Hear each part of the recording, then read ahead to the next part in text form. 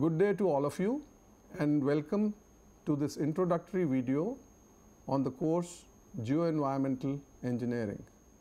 If you look at this uh, photograph, you will see a huge garbage dump about 30 to 40 meters high with some black liquid called leachate at the base. This is what inspired me to work in the area of geoenvironmental engineering. This course titled Geoenvironmental Engineering and in some institutions it's also called Environmental Geotechnology. It deals with landfills, slurry ponds and contaminated sites. We will be spending 42 lectures on this topic and I will be your course instructor Professor Manoj Datta from IIT Delhi. This course is useful for all those who are involved in environmental science and engineering, geotechnical engineering and soil sciences, pollution control board and regulatory authorities, central and state ministries of environment, urban development, municipal corporations and urban local bodies, manufacturing industries and industrial development corporations, waste management industries operators and NGOs, groundwater and mining authorities and industries, designers, consultants and researchers and others. We will ask you four questions and let us see if you are comfortable with these in answering these four questions. Are you aware of what is subsurface contamination and how it is caused? Are you aware of how we can prevent subsurface contamination? How do we detect and monitor subsurface contamination? And finally, how do we rehabilitate or uh, remediate contaminated sites? So, if you know the answers to all these questions and if you know the engineering solutions, then this course is not for you. But if you find that most of the questions asked are something which you are not aware of, then I encourage you to go through this course. I come back to the original slide where we looked at this thick dark colored leachate at the base of a garbage dump. What normally happens is that this dark colored leachate goes into the soil and contaminates it. It goes further into the groundwater and contaminates it. And finally, the contaminated groundwater reaches a drinking water well and it affects human health. There are many sources of subsurface contamination, including the solid waste which we just saw, buried drums, buried pipelines and sewer lines, ponds of wastewater, underground storage tanks and others. All of them are contaminating the subsurface environment. In this course, our learning objectives will be to learn about concepts and principles of subsurface contamination.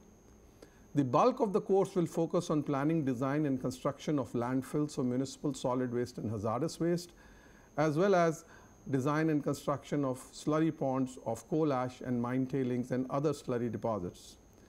We will look at rehabilitation of old waste dumps, detection and monitoring of subsurface contamination.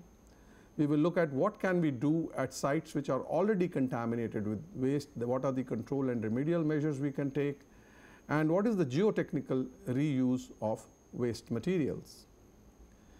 This is an example of a new hazardous waste landfill being, being constructed in which hazardous waste will be stored. However, it is designed in an engineering uh, and scientific way such that it has a liner which prevents the leachate from going to the groundwater. And here we can see the liner, the waste with a, with a daily soil cover and a final cover. And this is the way the landfill is covered at the end and you have a green top with gas collection system. We also collect the leachate which is generated inside the waste dump and you can see this, but this time the leachate is sent to a treatment plant and does not go into the soil below or into the groundwater. Let me take another example. This is another big garbage dump at a mega city in India. This dump was remediated by making the slopes regrading the slopes and making them stable and providing a final cover system so that the rainwater would not go into the dump to create leachate and this is what it looks like today. We are also extracting gas from this waste dump to generate uh, power.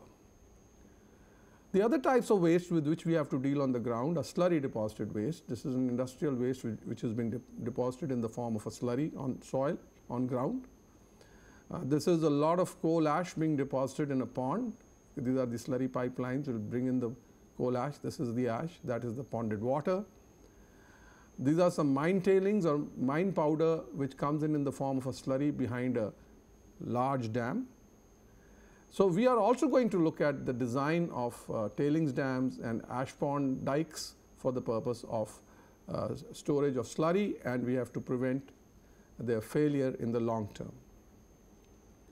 Other cases which we will see will relate to disposal of uh, industrial process liquid in underground storage tanks or industrial sludge on ground and cases of uh, contamination of surface water, the soil, and the groundwater and all this will be covered in this course. So, how much time will we spend on different topics? We will spend 5 lectures on introduction, soil waste interaction and integrated management. Bulk of the course 20 lectures will be on municipal solid waste and hazardous waste landfills. We will look at planning, design, what kind of liners and covers are used, how leachate is collected, how gas is collected and how slope stability is um, accomplished and how we monitor that these landfills do not leak. We will also spend some time on rehabilitation of old dumps. The second major focus will be on slurry ponds. We will be doing planning design, incremental raising of the dikes and dams of slurry ponds. We will look at stability aspects and we will also look at the geotechnical properties of coal ash and mine tailings. We will be spending 10 lectures on this. Other than these, we will spend four lectures on detection, control and remedial measures at contaminated sites, sites in which waste has been disposed of in the past. And we will also look at uh, how can we reuse some of the waste uh, for geotechnical applications as in earthworks or filling low lying areas.